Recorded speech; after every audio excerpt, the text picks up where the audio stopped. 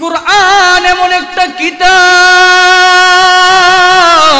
যেই কিতাবের জন্য আমার নবীকে কোথাও যাইতে হয় নাই। আমার নবী গারে সাউরের ভিতরে কোরআন গাউরে সাউরে নাজিল হয়। আমার নবী মক্কার শহরের ভিতরে কোরআন মক্কার শহরে নাজিল হয়।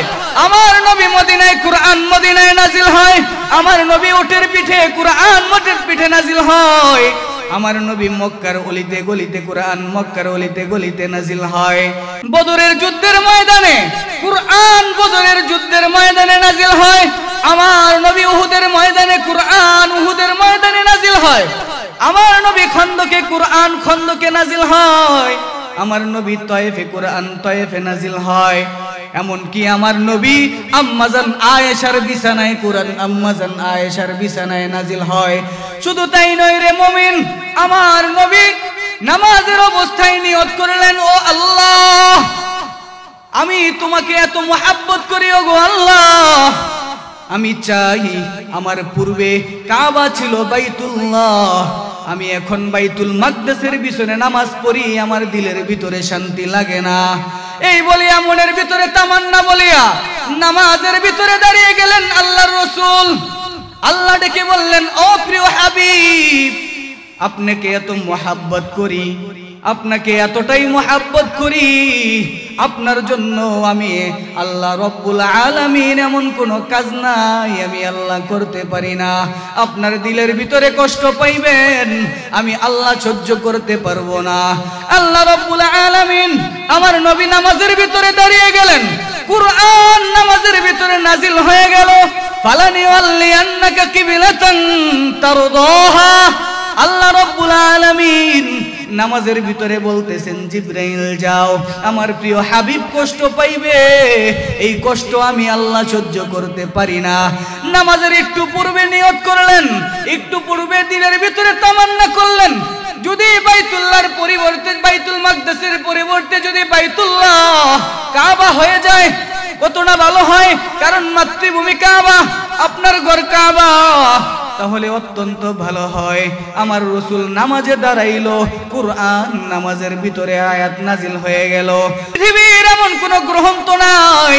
এইভাবে নাজিল হয়েছে, এইভাবে আয়াত দিয়েছেন, এইভাবে আল্লাহর নির্দেশ দিয়েছেন, এভাবে কোনো ধর্ম নাই, কোন নবীকে দেন নাই। প্রত্যেক নবী যখন তাদের গ্রন্থ নিতে হয়েছে, তাদের মেহনত করতে হয়েছে, তাদের যেতে হয়েছে, নির্দিষ্ট সময় ব্যয় করতে হয়েছে, আল্লাহর রেজা মন্দিয়াবুল কবুল করতে হয়েছে, তারপর তাদেরকে গ্রন্থ দিয়েছেন, কিন্তু একমাত্র কুরআন হলো আমার নবীর মজেজা, আমার নবীর মজেজা, আমার নবীর মজেজা কুরআন।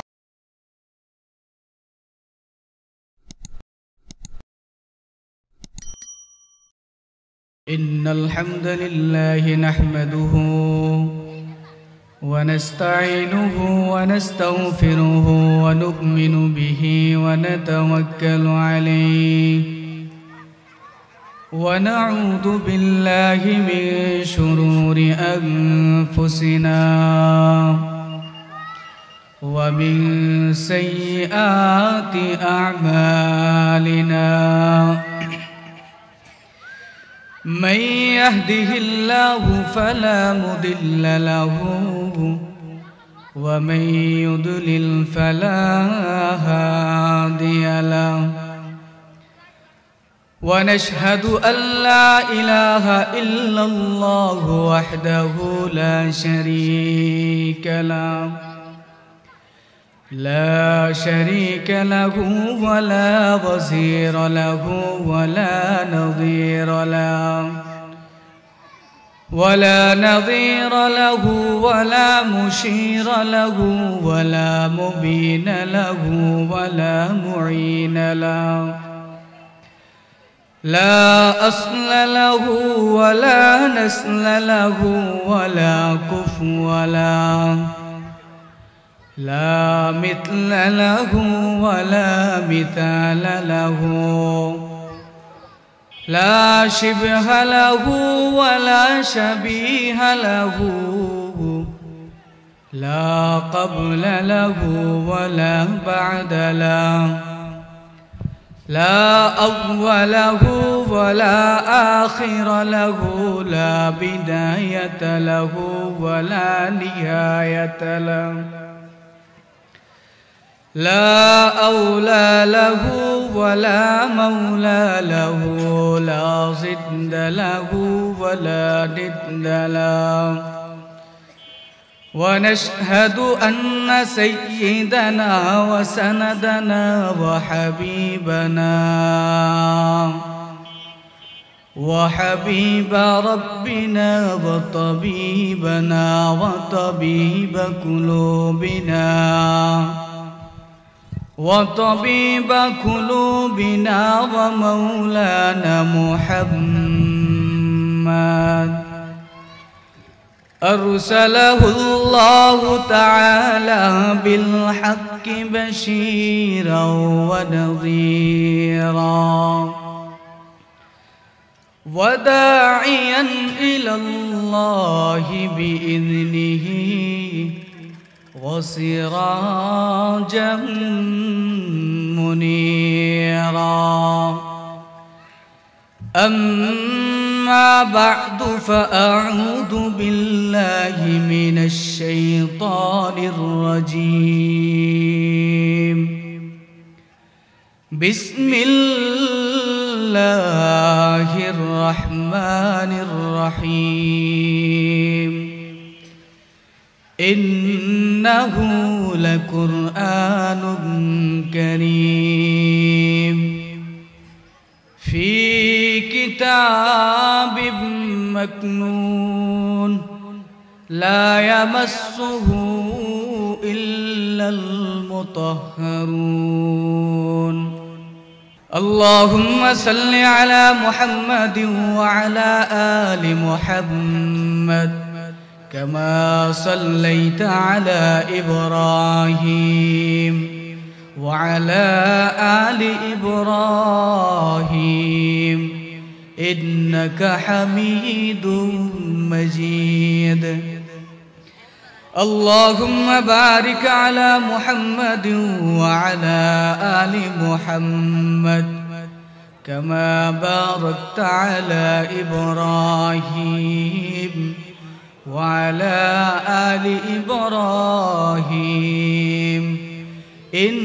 إنك حميد مجيد. ہر ابتدا سے پہلے، ہر انتہا کے بعد، ہر ابتدا سے پہلے، ہر انتہا کے بعد، ذات نبی بلند ہے، ذات خدا بعد. ہے ذات نبی بلند ہے ذات خدا باد۔ لا الہ الا اللہ لا الہ الا اللہ لا الہ الا اللہ بولو لا إله إلا الله لا إله إلا الله لا إله إلا الله لا إله إلا الله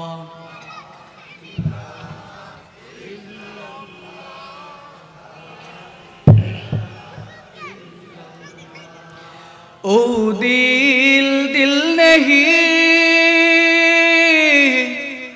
جس دل پہ خدا نہیں، جس دل پہ خدا نہیں، بولو لا الہ الا اللہ، لا الہ الا اللہ۔ إله إلا الله لا إله إلا الله আসমানের মালিক তুমি আল্লাহ জমিনের মালিক তুমি আল্লাহ লা ইলাহা ইল্লাল্লাহ লা ইলাহা ইল্লাল্লাহ লা ইলাহা ইল্লাল্লাহ লা ইলাহা ইল্লাল্লাহ।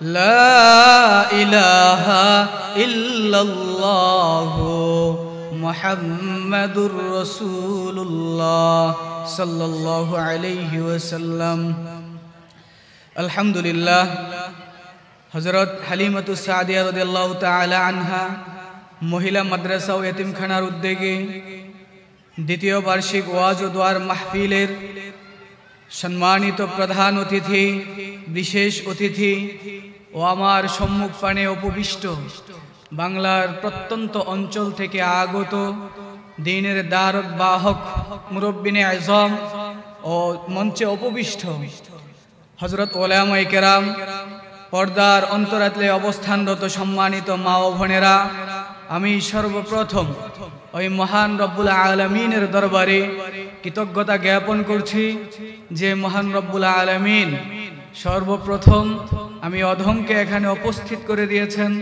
এবং আপনাদেরকেও এখানে কিছু কথা শোনার, মানুষে বসার তৌফিক দান করেছেন। সকলেই বলেন, আলহামদুলিল্লাহ।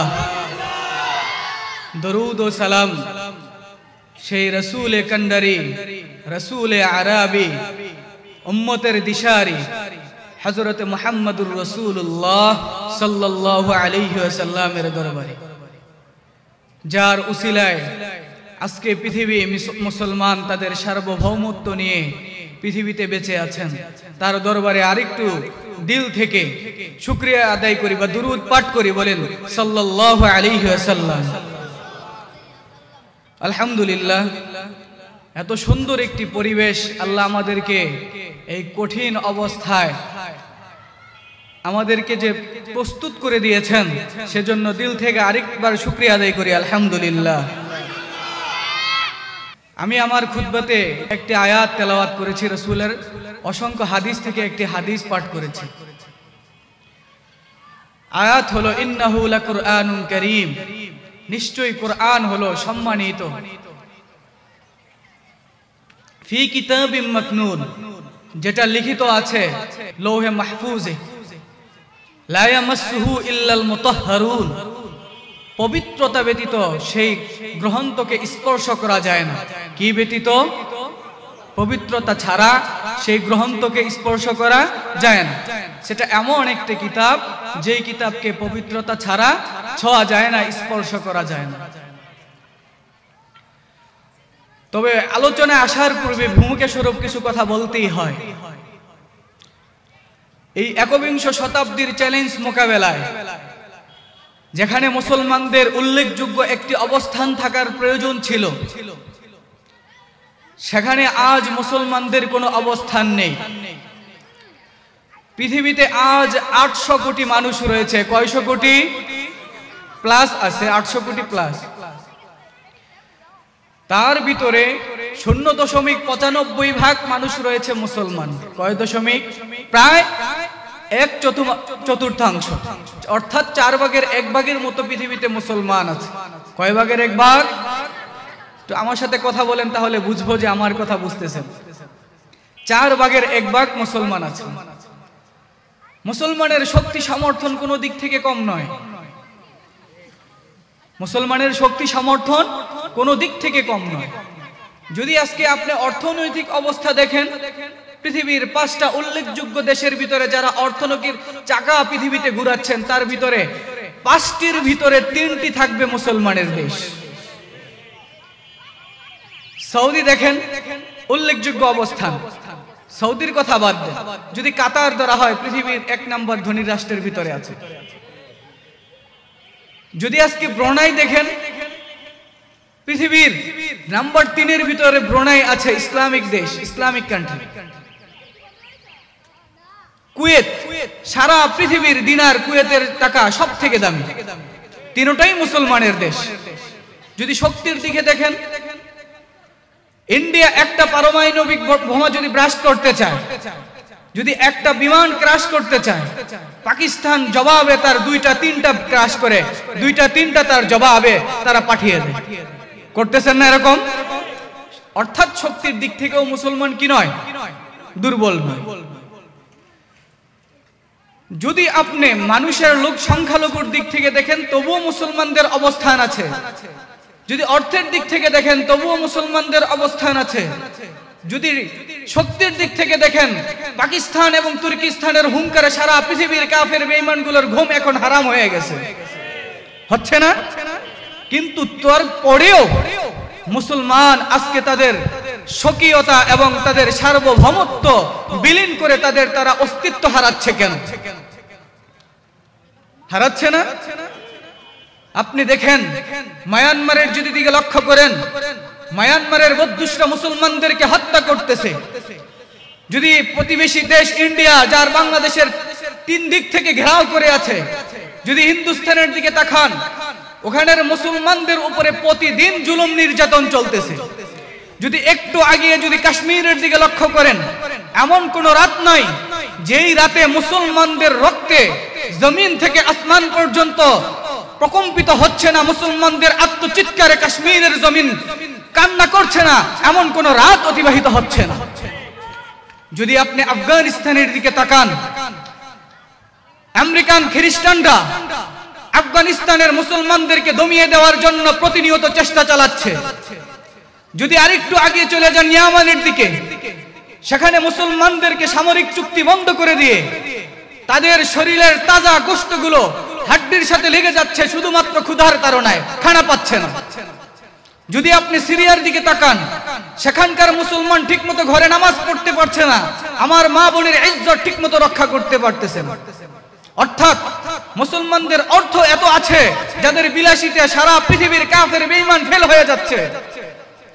তাদের শক্তি সামর্থ্য থেকে সারা পৃথিবীর শক্তিধর দেশগুলো তাদের ঘুম হারাম করে ফেলছে। তাদের কারেন্সি টাকা যদি দেখা হয়, সব দিক থেকে মুসলমান শক্তি থাকার পরেও কেন পৃথিবীর ভিতরে উল্লেখযোগ্য অবস্থান নেই মুসলমানদের? কেন তাদের সার্বভৌমত্ব আজকে বিসর্জন দিতে হচ্ছে, এর জবাব কোথায়? এর জবাব কোথায়? এর জবাব একমাত্র রয়েছেন রসুলের হাদিস। রসুল বলেছেন, আমি তোমাদের কাছে দুইটি জিনিস রেখে যাচ্ছি। কয়টি জিনিস বলেন? কি কি? এক নাম্বার হলো কিতাবুল্লাহ, আল্লাহর কিতাব। আরেকটা হলো রসুলের সুন্নাহ। এই দুইটা জিনিস যদি পরিপূর্ণভাবে যদি আমরা আক্রিয়ে ধরি, দুইটা জিনিস যদি পরিপূর্ণভাবে আক্রিয়ে ধরি, তাহলে আমাদের অভিভাবক হবেন আল্লাহ। আমাদের অভিভাবক হবেন কে? আল্লাহ। আলা ইন্না আউলিয়া আল্লাহি লা খাউফুন আলাইহিম ওয়ালা হুম ইয়াহজানুন। যাদের অভিভাবক আল্লাহ হয়ে যান, যাদের অভিভাবক কে হয়ে যান? আল্লাহ হয়ে যাবেন। তাদের না কোনো ভয় হবে, না তারা কোনো পেরেশানিতে পড়তে হবে। তাদের অভিভাবক যদি কি হয়ে যায়? আল্লাহ হয়ে যায়। কিন্তু আজকে আমরা আল্লাহকে মানলাম আল্লাহকে বললাম, আল্লাহ আমার এক অভিভাবক হিসেবে মানলাম, কিন্তু অভিভাবকের সাথে সম্পর্ক ভালো নয়। আজকে মালিকের কারখানায় কাজ করেন, মালিকের আন্ডারে চাকরি করেন, কিন্তু মালিকের নির্দেশ সঠিক মতো পালন করেন না। তাহলে মালিক আপনার বেতন এবং ভাতা ঠিক মতো দিবে মনে হয়? আপনাদের এলাকা দেয় ভাতা ঠিক মতো দিবে না। অর্থাৎ মালিক থেকে যদি মালিকের অধীনে চাকরি করতে হয় যেমনই ভাবে তার আদেশ এবং নির্দেশ পালন করলেই সে আপনাকে টাকা এবং ভাতা দিবে তেমনি ভাবে আমরা যে আল্লাহর গোলাম, আল্লাহকে আমরা অভিভাবক মানিয়ে বানিয়েছি। আল্লাহর অভিভাবকত্ব যদি আমরা সঠিকভাবে যদি আমরা গ্রহণ করতে হয়, তাহলে আল্লাহ এবং তার রসুলের কথাগুলোকে সঠিকভাবে মানতে হবে। ঠিক কিনা বলেন? তাহলেই অবশ্যই আমাদের অভিভাবক যদি আল্লাহ হয়ে যায়, আল্লাহ বলেন,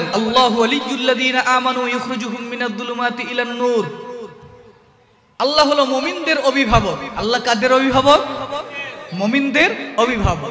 আর যাদের অভিভাবক আল্লাহ হয়ে যান মিনাদ-দুলুমাতি অন্ধকার থেকে তাদেরকে আলোর দিকে বের করে নিয়ে আসেন কে? কে নিয়ে আসেন? এই ক্ষমতা আল্লাহর আছেন। আছেন?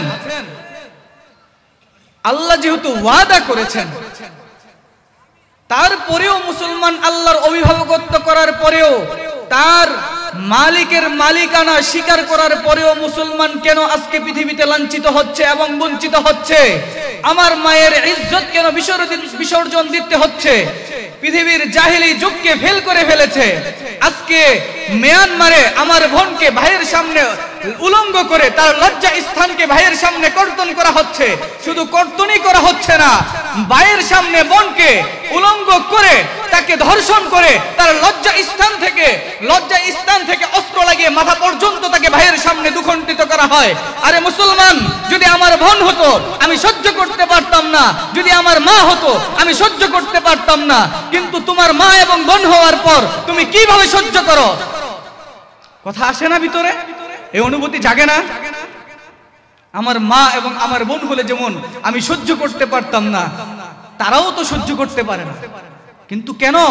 আমাদের এই লাঞ্ছনা এবং বঞ্চনার শিকার একমাত্র হওয়ার কারণ হলো, যেইভাবে আল্লাহর ইবাদত করা দরকার ছিল, আল্লাহর যেইভাবে গোলামি করার দরকার ছিল, ওইভাবে গোলামি করছি না, যার জন্য আল্লাহ আমাদের থেকে কেমন যেন তার অভিভাবকত্বের দায়িত্ব কেমন যেন একটু হলেও ঢিল করে দিয়েছেন, ছেড়ে দিতে চাচ্ছে। আল্লাহ রব্বুল আলমিন একমাত্র আল্লাহর ইবাদত করার তৌফিক আমাদেরকে দান করেন বলেন, আমিন। বলতেছিলাম, এই কোরআন অত্যন্ত সম্মানিত গ্রন্থ। এই কোরআন হলো অত্যন্ত গ্রহণ সম্মানিত গ্রন্থ। রসুল বলেছেন, দুইটা জিনিস পাকড়ে ধরতে হবে, আঁকড়ে ধরতে হবে। কি কি? কিতাবুল্লাহ। আরেকটা হলো সাহিবুল কিতাব। অর্থাৎ একটা হলো কিতাবুল্লাহ, আল্লাহর কিতাব, আরেকটা হলো যার উপরে কিতাব পাঠিয়েছেন, তার আজমত, তার সম্মান, তাকে জানা, তাকে চিনা, তার কথা বোঝা। এই দুইটা বিষয় নিয়ে আজকে আমি আমার আলোচনা করার চেষ্টা করব ইনশাআল্লাহ।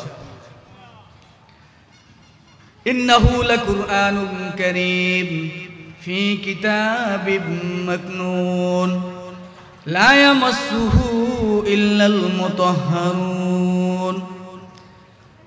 আল্লাহ পবিত্র কোরআনে বলেছেন, কোরআন হলো অত্যন্ত সম্মানিত। কেমন সম্মানিত, কেমন কোরআন? সুরাতুল বাকারা কোরআনের প্রথম সুরা। কি সুরা? সুরাতুল বাকারা। এর ভিতরে একটি আয়াত আমরা পড়ি এবং জানি এবং কিছুটা হলেও বুঝি। আলিফ লাম মিম। ذلك الكتاب لا ريب فيه আলিফ লাম মিম তিনটা অক্ষর দিয়ে আল্লাহ কোরআনকে শুরু করলেন কয়টা অক্ষর দিয়ে বলেন এক নম্বরে আলিফ দুই নম্বরে লাম তিন নম্বর অক্ষর হলো মিম অনেক মুফাসসিরিনে কেরাম বলেছেন একমাত্র তার উদ্দেশ্য আল্লাহ রব্বুল আলমিনই জানেন। আলিফ লাম মিম। এর উদ্দেশ্য কে জানেন আমরা জানি না। এর উদ্দেশ্য একমাত্র আল্লাহ রব্বুল আলমিনই জানেন। কে জানেন? অন্য অন্য মুফাসসিরিনে কেরাম বলেছেন, আলিফ লাম মিম। যালিকাল কিতাবু লা রাইবা ফীহ। আলিফ দ্বারা উদ্দেশ্য হলো আল্লাহ। লাম দ্বারা উদ্দেশ্য হলো জিবরাইল ওয়াসসালাম। মিম দ্বারা উদ্দেশ্য হলো মুহাম্মাদুর রাসূলুল্লাহ সাল্লাল্লাহু আলাইহি ওয়াসাল্লাম। বুঝে থাকলে বলেন, আলিফ দ্বারা উদ্দেশ্য কি বলেন? বলেন, আরও জোরে বলেন। আলিফ দ্বারা উদ্দেশ্য হলো আল্লাহ। লাম দ্বারা উদ্দেশ্য হলো জিব্রাইল আলাইহিস সালাতু ওয়াস সালাম মিম দ্বারা উদ্দেশ্য হলো মুহাম্মাদুর রাসূলুল্লাহ সাল্লাল্লাহু আলাইহি ওয়াসাল্লাম। আল্লাহ রাব্বুল আলামিন তার পবিত্র কুরআনকে আল্লাহ এবং তার মুহাম্মাদুর রাসূলুল্লাহ প্রিয় হাবিব দিয়ে পুরো কোরআনটাকে সাজাইছেন। এই পুরা কোরআনটাকে আল্লাহ মোহাব্বত করিয়া আলিফ লাম মিমের ভিতরে ঢুকাইয়া দিছেন বলেন সুবহানাল্লাহ। বিস্তারিত আলোচনা সংক্ষেপে বলছি, আলিফ লামের ভিতরে আল্লাহ পুরো কোরআনের ভিতরে যা রয়েছেন, পুরো কুরআনের আলোচনাকে আল্লাহ আলিফুল্লামের ভিতরে দিয়ে সামনের আয়াত বলতেছেন, দালিকাল কিতাব, লা রাইবা ফি। এটা এমন একটি কিতাব, যেই কিতাবের ভিতরে কোনো সন্দেহ নাই, কোনো সন্দেহ নাই। যেই কিতাবে কি নাই? পৃথিবীর এমন কোনো কিতাব নাই, যার শুরুতে লেখক বলেন না, আমার কিতাবের ভিতরে ভুল নাই ভুল নাই। কিন্তু একমাত্র কিতাব যেই কিতাবের ভিতরে আল্লাহ বলেন, যার শুরুতে আল্লাহ কেমন যেন চ্যালেঞ্জ দিয়ে বলতেছেন জালিকাল কিতাব, এটা এমন একটি কিতাব, লা রাইবা ফি যাতে কোনো ধরনের শোভা সন্দেহের অবকাশ নাই। পৃথিবীর সমস্ত গ্রন্থ লেখক কি বলে দেন? আমি এই কিতাবটা লিখেছি। এর ভিতরে ভুল ত্রুটি যদি থাকে, অবহিত করবেন। ক্ষমা সুন্দর দৃষ্টিতে দেখবেন। পরবর্তী সংস্করণে কি করে দিব? পরিশোধিত করতে বাধ্য থাকিব। কিন্তু কোরআন এমন একটি গ্রন্থ, যার ভিতরে লেখকের যে নাজিল করেছেন, যে এর রাইটার, যে এর লিপিবদ্ধকার সে বলেন নাই যে এতে ভুল থাকতে পারে, বরঞ্চ আরও বলে দিচ্ছেন তাতে কি নাই? কোনো সন্দেহ নেই। পৃথিবীর সমস্ত গ্রন্থওয়ালাদের চ্যালেঞ্জকে ছুড়ে দিয়ে বললেন, এমন একটি কিতাব, কোরআন এমন একটি কিতাব যাতে কোনো ধরনের সন্দেহ নাই। সারা পৃথিবীর গ্রন্থের দিকে তাকান। আসমানি আরও চারটি উল্লেখযোগ্য গ্রন্থ আছে, আরও চারটি উল্লেখযোগ্য গ্রন্থ কয়টি বলেন? চারটি উল্লেখযোগ্য গ্রন্থ রয়েছে। এক নম্বরে হলো তাওরাত, দ্বিতীয় নম্বরে জবুর, তিন নম্বরে হলো ইঞ্জিল চতুর্থ নাম্বার হলো আমাদের কুরআন। দেখেন কি আজীব কথা। হজরতে মুসা সালাম যখন তাওরাত, আসমানি গ্রন্থ নাজিল করার প্রয়োজন পড়ল, আল্লাহ ডেকে বললেন, ও মুসা, তোমার যদি আসমানি গ্রন্থ নিতে হয় এমনি এমনিতেই পাবা না। এমনি এমনিতেই পাবে না। তোমার কি করতে হবে? তোমাকে তোমার স্বজাতি পরিত্যাগ করতে হবে। স্বজাতিকে পরিত্যাগ করে চিল্লা লাগাইতে হবে, চিল্লা। কোথায় চিল্লা লাগাইতে হবে? তুর এক নাম, তুর পাহাড় নামে একটি পাহাড় আছে তুর। সেই তুর পাহাড়ে এসে তোমাকে চিল্লা লাগাইতে হবে। এই তুর পাহাড় নামক পাহাড়ে এসে চল্লিশ দিন অবস্থান করবে। চল্লিশ দিন অবস্থান করার পর আমি আল্লাহ তোমার কাছে সন্তুষ্ট হয়ে তোমাকে একটি সহি প্রদান করব। সেই সহিফার নাম হবে তাওরাত। বুঝা গেল মুসা আলাইহিস সালাম এমনিতে এমনিতেই পান নাই। বলেন এমনিতে পেয়েছেন? জোরে বলেন। এর জন্য মেহনত করতে হয়েছে। তুর পাহাড়ে যেতে হয়েছে। তার চল্লিশ দিনের চিল্লা লাগাইতে হয়েছে হজরতে দাউদ সালাম যখন জবুর দেওয়া প্রয়োজন মনে করল হজরতে দাউদ সালামকে বললেন, আল্লাহ, ও দাউদ, তোমার যদি জবর নিতে হয়, তুমিও এমন একটা তিন চিল্লার আয়োজন করো। এই তিন চিল্লা কেমন হবে কেমন? এই তিন চিল্লা হবে তোমার সমস্ত পরিবার পরিজনকে ত্যাগ করে নির্দিষ্ট একটা ইবাদত খানায় গিয়ে আমি আল্লাহর ইবাদতে নিমগ্ন হয়ে যেতে হবে। যখন তুমি আমি আল্লাহর ইবাদত করতে থাকবে, এক চিল্লা, দুই চিল্লা, তিন চিল্লা অতিবাহিত হবে। আমি আল্লাহ খুশি হয়ে তোমাকে দান করব। খুশি হয়ে দান করব জবুর। তেমনি ভাবে হযরতে ঈসা আলাইহিস সালাতু ওয়াস সালামকে ইনজিল দেওয়ার জন্য যখন আল্লাহ মনস্থ করলেন, হযরতে ঈসা আলাইহিস সালাতু ওয়াস সালামকে বললেন, ঈসা, তোমার যদি কিতাব আসমানি কিতাব নেওয়ার প্রয়োজন হয়, তুমিও যাও তোমার ইবাদত খানায় এক বছরের চিল্লা লাগাও এক বছরের সাল লাগাও। সমস্ত আত্মীয় স্বজনের পরিত্যাগ করো, সমস্ত সম্পর্ক বিচ্ছেদ করো। আমি আল্লাহর ইবাদত করতে থাকো। আমি আল্লাহ খুশি হয়ে তোমাকে একটা কিতাব দান করব, যার নাম হবে ইনজিল। তিন নবীকে তিনটা দিলেন। কোথায় দিলেন? অর্থাৎ তাদের এমন কোন নবী নাই যারা আসমানি কিতাব, প্রসিদ্ধ কিতাব পাইল, নিজের ঘরে বসিয়া পান নাই, ঘর ত্যাগ করতে হয়েছে। কারও তুর পাহাড়ে যাইতে হয়েছে, কারও এবাদত খানায় তিন চিল্লা লাগাইতে হয়েছে কারও ছাল লাগাতে হয়েছে, কিন্তু কুরআন এমন একটা কিতাব কিতাবের জন্য আমার নবীকে কোথাও যাইতে হয় নাই। আমার নবী গারে সাউরের ভিতরে, কোরআন গাউরে সাউরে নাজিল হয়। আমার নবী মক্কার শহরের ভিতরে, কোরআন মক্কার শহরে নাজিল হয়। আমার নবী মদিনায়, কোরআন মদিনায় নাজিল হয়। আমার নবী উটের পিঠে, কোরআন মোটের পিঠে নাজিল হয়। আমার নবী মক্কার অলিতে গলিতে, কোরআন মক্কার অলিতে গলিতে নাজিল হয়। এমনকি আমার নবী বদরের যুদ্ধের ময়দানে, কুরআন বদরের যুদ্ধের ময়দানে নাজিল হয়। আমার নবী উহুদের ময়দানে কুরআন উহুদের ময়দানে নাজিল হয়। আমার নবী খন্দকে কুরআন খন্দকে নাজিল হয়। আমার নবী তয়েফে কুরআন তয়েফে নাজিল হয়। এমনকি আমার নবী আম্মাজান আয়েশার বিছানায় কুরআন আম্মাজান আয়েশার বিছানায় নাজিল হয়। শুধু তাই নয় রে মুমিন, আমার নবী নামাজের অবস্থায় নিয়ত করলেন, ও আল্লাহ, আমি তোমাকে এত মোহাব্বত করি, ও গো আল্লাহ। আমি চাই আমার পূর্বে কাবা ছিল বাইতুল্লাহ। আমি এখন বাইতুল মাকদাসের পিছনে নামাজ পড়ি, আমার দিলের ভিতরে শান্তি লাগে না। এই বলিয়া মনের ভিতরে তামান্না বলিয়া নামাজের ভিতরে দাঁড়িয়ে গেলেন আল্লাহর রসুল।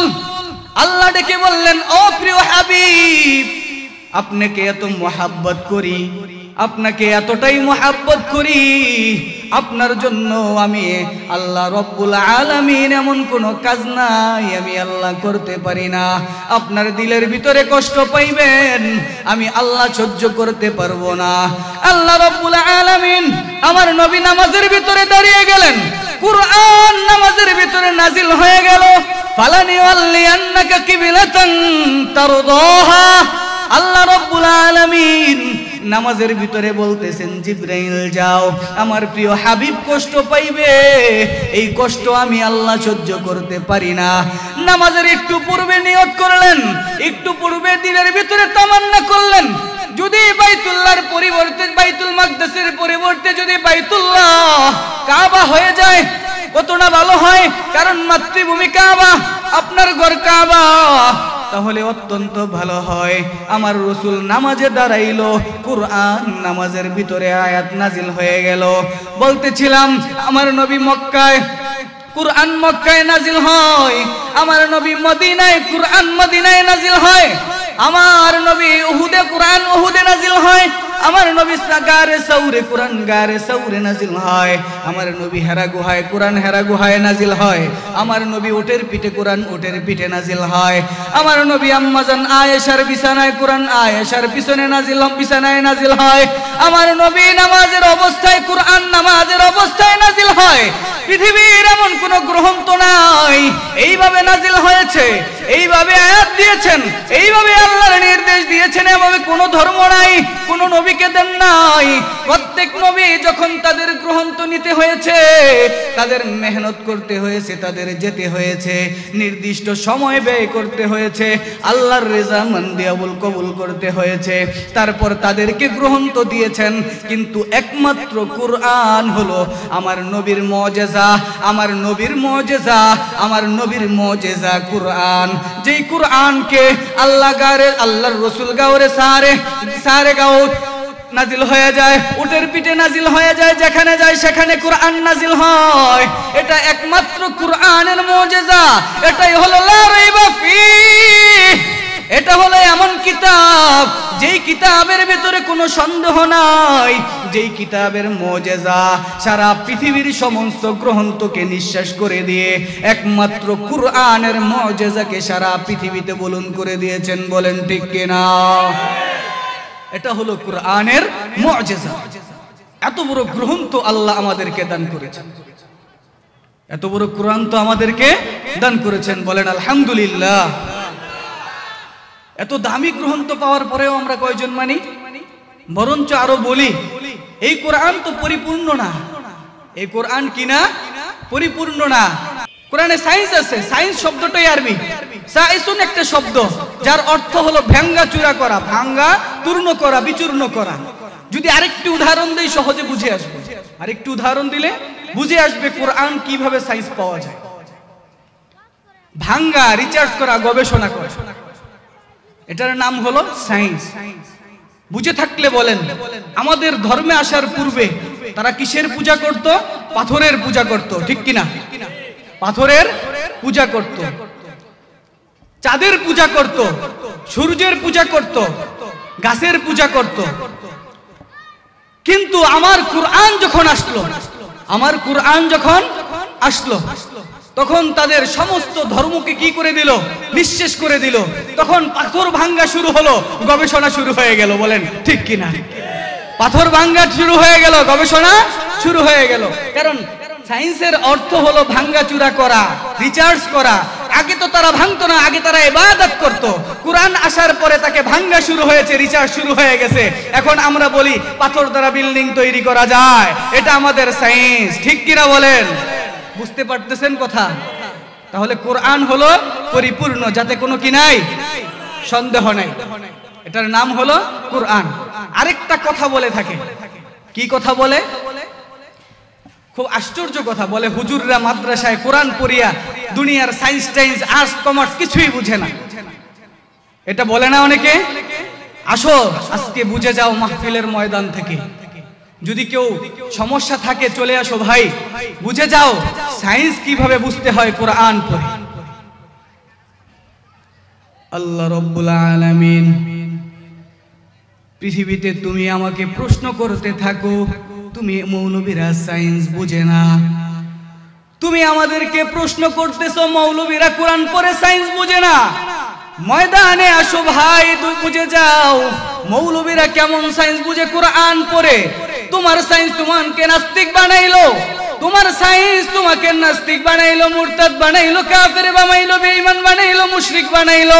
কিন্তু আমার কোরআনের এমন এক সায়েন্স আল্লাহ কথা বলেছেন, যেই সায়েন্স আমাকে আল্লাহর কে পাওয়ার আরও রাস্তা খুলে দিল। তোমার সায়েন্সের থিওরি হলো, যে জিনিসের কোনো জিনিস যদি পরিবর্তন করতে হয়, মেশিন অথবা মেডিসিনের প্রয়োজন হয়, কি জিনিসের বলেন? মেশিন অথবা মেডিসিনের প্রয়োজন হয়, কোনো জিনিসকে যদি পরিবর্তন করতে হয়, তোমার বিজ্ঞানীদের থিওরি হলো, হয়তো মেশিন লাগবে, নয়তো মেডিসিন লাগবে, কিন্তু আমার কোরআনের যে সায়েন্স আমি শিখেছি, ওই সায়েন্স কি বলে দেখো, সমুদ্রের পানি দেখেছেন, সমুদ্রের পানি, পানিগুলো কেমন হয়, মিষ্টি নাকি লবণাক্ত? জোরে বলেন। লবণাক্ত পানিগুলো তুমি যদি পরিবর্তন করতে চাও, তোমার বিজ্ঞান বলবে, হয়তো মেশিন লাগবে, নয়তো মেডিসিন লাগবে। কারণ এই লবণাক্ত পানিকে যদি পরিশুদ্ধ করতে হয়, পরিশোধিত করতে হয়, হয়তো তোমার মেশিন লাগবে, নয়তো তোমার মেডিসিন লাগবে। কিন্তু আমার খালেক, আমার মালিক, আমার আল্লাহ, আমার প্রভু আমাকে কুরআন দিয়েছেন। ওই কুরআন দ্বারা আমি কেমন সাইন্স শিখেছি দেখো। আমি জানি আল্লাহ রব্বুল আলামিন যখন বৃষ্টি বৃষ্টি যখন পাঠানোর দরকার মনে করেন, যখন জমিনকে সুশোভিত করার প্রয়োজন মনে করেন, আসমান থেকে বৃষ্টি প্রেরণ করবেন, তখন সমুদ্রের পানিগুলোকে আসমানে নিয়ে যান বলেন ঠিক কিনা? আপনারা জানেন সমুদ্র থেকে যে পানি আসমানে নিয়ে যায়? সমুদ্র থেকে পানিগুলো আসমানে নিয়ে যান। কিন্তু আসমানের ভিতরে দেখেন কি কারিশমা আল্লাহ। যেখানে কোনো মেশিন নাই, সেখানে কোনো মেডিসিন নাই, কোনো মেশিন নাই। আল্লাহ রব্বুল আলামিন ওই সমুদ্রের লবণাক্ত পানিগুলোকে মিষ্টি করে জমিনের ভিতরে প্রেরণ করতেছেন। হাদিসের ভাষ্য অনুযায়ী, আবে জমজমের পরে, দুনিয়ার জমজমের পানির পরে যদি সমিষ্ট পানি হয় এবং পরিশুদ্ধ পানি থাকে তাহলে আসমানের বৃষ্টির পানি হলো সব থেকে মিষ্টি। সব থেকে সুস্বাদু পানি হলো কোথাকার? বলেন। আসমানের পানি। বলেন তো কে? ওই সমুদ্রের পানিকে আসমানে নিয়ে গেলেন? যেই সমুদ্রে আসমানের ভিতরে কোনো মেশিন নাই, কোনো রাউডার নাই, কোনো মেডিসিন নাই, ওই আল্লাহ তার কুদরতি শক্তি দিয়ে ওই লবণাক্ত পানিটাকে মিষ্ট বানায় জমিনে পাঠাইলেন। যদি ওই লবণাক্ত পানিটাকে যদি জমিনে পাঠাইতেন, তোমার সমস্ত শস্য এবং ফসলগুলো মরে মরে যাইতো। সমস্ত ফসলগুলো জ্বলে পড়ে যাইতো। সমস্ত ফসলগুলো ধ্বংস হয়ে যাইতো। কিন্তু আমার মালিক কুদরতি ফাইসালা অনুযায়ী পানিটাকে মিষ্টি করে দিলেন। কই তোমার বিজ্ঞান কই? তোমার বিজ্ঞান বলে তোমার বিজ্ঞানীদের থিওরি, মেশিন এবং মেডিসিন লাগে। আমার আল্লাহ কুদরতি ইশারায় পানিটাকে, লবণাক্ত পানিটাকে মিষ্টি করে দুনিয়ায় পাঠাইলেন। সেখানে কোনো মেশিনের প্রয়োজন নাই, সেখানে কোনো মেডিসিনের প্রয়োজন হয় নাই। তোমার বিজ্ঞানের থিওরি এনে অপারক হয়ে গেল। আমার আল্লাহর কুরআন। আমার আল্লাহর কুরআনে যে বলেছেন, ইন্নাল্লাহ আলা কুল্লি শাইইন কদির। আমার আল্লাহর শক্তি, আমার আল্লাহর ক্ষমতা সব থেকে বেশি। এই সায়েন্সের থিওরি যখন আমি অনুসরণ করলাম, তখন আমার ভিতরে একটা বিষয় কাজ করল যে শুধু মেশিন আর মেডিসিন না আর একটা শক্তি আছে আর একটা স্কেল আছে আর একটা অনুবীক্ষ যন্ত্র আছে, যেই যন্ত্রের মাধ্যমে আমি বুঝতে পারি পানিগুলো মিষ্টি হয়ে যাচ্ছে। সেই পানিগুলো মিষ্টি করছেন আমার আল্লাহর কুদরতি শক্তি। এটা কোনো সায়েন্সের কোনো শক্তি না, সায়েন্সের মেশিন না, সায়েন্সের কোনো মেডিসিন না। বলেন, কার ক্ষমতা এটা? ক্ষমতা কার? আল্লাহর। ওই তোমার সায়েন্স তো এখানে নাই? আর একটু যদি সামনে গিয়ে বলি তোমার সায়েন্স অপারক হয়ে যাবে। তোমার সায়েন্সের সবচেয়ে মূল থিওরি যেটা তোমার সায়েন্সের মূল থিওরি যেটা যেটা বলে যা দেখি না তা বিশ্বাস করি না। যা দেখি না তা বিশ্বাস করি না। বলে না কথা? যা দেখি না তা বিশ্বাস করি না। এখানে কথাটা বুঝায়া আমাদের ইমানগুলোকে নষ্ট করতেছে। আমাদের ইমানগুলোকে কি করতেছেন? নষ্ট করতেছেন। যা দেখি না তা মানি না। আপনার আমার সন্তানকে সায়েন্সে শিক্ষা দেওয়া হচ্ছে। আপনার আমার সন্তানকে কি করা হচ্ছে? এই শিক্ষাই দেওয়া হচ্ছে। যা দেখি না তা মানি না। অর্থাৎ যেই জিনিস উজুদে নাই, যেই জিনিসের বাস্তবতা নাই, যার অবস্থান নাই, ওই জিনিস মানি না। এটা তাদের থিওরি আমার একটা যুক্তি আছে, যদি তোমার এমন সায়েন্স যদি তুমি শিখো, তোমার কাছে একটা প্রশ্ন রেখে যাই। যদি প্রশ্নের জবাব দিতে পারো আমি এই ধর্ম ছেড়ে দিয়ে, কোরআন রেখে দিয়ে, আমি তোমার সায়েন্স সারা জীবনের জন্য শিখব। প্রশ্নটাকে হল করে দিই। প্রশ্নটা কি দেখেন? পাঁচ লিটার পানি আছে, কয় লিটার? পাঁচ লিটার পানি আছে। এক লিটার পানি আগুনে পোড়ানোর পর কমে গেল। আগুনে পোড়ানোর পর কিছুক্ষণ পরে এক লিটার পানি কি হয়ে গেল? কমে গেল। এখন বুঝে থাকলে জবাব দিয়ে বলেন, পাঁচ লিটার পানি আগুনে পোড়ার কারণে যে এক চার লিটারে পরিণত হলো, এক লিটার কোথায় গেল? কোথায় গেল? বাষ্প হয়ে গেছে। তার বিজ্ঞান, তার যন্ত্র, তার অনুবীক্ষণ যন্ত্র এগুলা মেপে বলবে, পানি বাষ্প আকারে পরিণত হয়ে গেছে। এখন আমার কথা হলো। তোমার থিওরি ছিল যা দেখি না, তা মানি না। তো পানি যে বাষ্প হয়ে গেল এক লিটার, আমি তো দেখি না, তো তুমি মানছো কেন? আমাকে পাঁচ লিটার মিলাই দাও। আমাকে কি করো? পাঁচ লিটার মিলাই দাও, না হলে তোমার ওই থিওরিকে আজ থেকে বন্ধ করে দাও। ঠিক আছে না কথা? পাঁচ লিটার মিলিয়ে দাও। যদি পাঁচ লিটার মিলিয়ে দিতে না পারো, তাহলে বলব যদি চার লিটার মানো। এক লিটারকে যেমন না দেখে বিশ্বাস করছ তাহলে আমার আল্লাহকেও তুমি না দেখে বিশ্বাস করতে হবে। এটার নাম হলো কি? এটার নাম হলো আল্লাহ এবং তার ইমান কি যুক্তির বাহিরে কথা বলছি? যুক্তির বাহিরে। এটার নাম হলো ইমান বলে কি মৌলবীরা? সায়েন্স বুঝে না। মৌলবীরা সায়েন্স বুঝে না। আরে মৌলবীরা তো এমন সায়েন্স বুঝে, এমন তুমি বলতেছো আসমানের চাঁদ দিয়ে কি হবে? জমিনের ওই আসমানের সূর্য দিয়ে কি হবে? জমিন দিয়ে কি হবে? আমি বলি, আল্লাহ অনর্থক আসমানকে সৃষ্টি করেন নাই, ওই সূর্যকে অনর্থক সৃষ্টি করেন নাই, ওই চন্দ্রকে আল্লাহ অনর্থক সৃষ্টি করেন নাই। সূর্যের মাধ্যমে আল্লাহ তোমাকে যে ফসলগুলো ফলাইছো, ওই ফসলগুলোর ভিতরে আল্লাহ উজ্জ্বলতা ও শশীবতা ও ভিটামিন দিয়ে দিচ্ছেন। ওই চন্দ্রের মিষ্টি মিষ্টি, মৃদু মৃদু আলোর মাধ্যমে তোমার ফলগুলোকে মিষ্টি করছেন। সব ভালো করে দেখবেন। যখন যেই দিকে চন্দ্রের চন্দ্রের আলো লাগে, ওই দিকের ফলগুলো খুব মিষ্টি হয়। যেই দিকে চাঁদের আলো লাগে না, ওই দিকের ফলগুলো বেশি মিষ্টি হয় না। এই জন্য দেখবেন, আমি তো সায়েন্স বুঝে বুঝে আমার মাওলার কুদরত বুঝি। আমি সায়েন্স বুঝে আমার মাওলাকে বিশ্বাস করি। আজকে তুমি বলতেছো, তুমি কোরআন পড়ে সায়েন্স বুঝো না। যদি সায়েন্স কাকে বলে প্রকৃত পক্ষে যদি সায়েন্স বুঝতে চাও, আমার কাছে আসো। বাংলার জমিনের ভিতরে, ঢাকা আইডিয়াল স্কুলের ভিতরে, পরীক্ষার্থীর ভিতরে, বাংলাদেশের দশ জনের ভিতরে আমি একজন স্টুডেন্ট। যদি বুঝতে হয় আমার কাছে আসো। আমি তো তোমার মতো ইংলিশ, ইংরেজি শিক্ষিত ছেলে। আমি মাদ্রাসায় পর্যন্ত লেখাপড়া করেছি। আসো, তোমার যদি ইংলিশ বুঝতে হয় আমার কাছে আসো। তোমার যদি আরবি বুঝতে হয় আসো। তোমার যদি সায়েন্স বুঝতে হয় আসো। না বুঝিয়া বুঝিয়া তুমি এমন কথা বলো না যে কুরআনে সায়েন্স নেই, কুরআনে বিজ্ঞান নেই, কুরআনে ভৌগোলিক অবস্থান নাই। কুল সিরু ফিল আউদি ফানদুরু কাইফা কান। আল্লাহ কুরআনে বলেন, ও মুমিনগণ তোমরা জমিনের ভিতরে সফর করো, সফর সফর। জমিনের বিভিন্ন দেশে যাও, সফর করে করে আমার মাওলার কুদরত গুলোকে দেখো। আমার মাওলার যখন কুদরত বুঝবা, এই জমিন গুলোকে সফর করার সাথে সাথে সারা পৃথিবীর ভৌগোলিক অবস্থা তোমার জানা হবে, তোমার ব্যবসা বাণিজ্য সুবিধা হবে। কোরআনে ভৌগোলিক অবস্থা নাই, কে বলল? আমি তো দেখি তুমি দেখো না। তার মানে হলো, তোমার ভিতরে এমন একটা মেডিসিন ঢুকায় দিছে, যেই মেডিসিনের মাধ্যমে কেউ যদি যৌবন হারায়, যৌবনের মেডিসিন খায় না বলেন, খায় না কি খায় না খায়? কারও যদি ইমানও হারাইতে হয়, তারও মেডিসিনের দরকার হয়। কিন্তু মমিন, আমরা পিওর মমিন। আল্লাহ আমাদেরকে যেইভাবে সৃষ্টি করাইছেন, কুল্লু মাউলুদিন ইউলাদু আলাল ফিতরাহ প্রত্যেকটা মুমিনকে তাকে জন্মগতভাবে মুমিন হিসেবে বানাইছেন। আমাকে মুমিন হিসেবে বানাইছেন। আমি মুমিন। আমার ভিতরে কোনো ফরমালিন নাই। কোনো কাফেরের শক্তি অবকাশ কাজ করে না। আমি কুরআন বুঝি, হাদিস বুঝি। আমার ভিতরে কুরআন আছে, হাদিস আছে।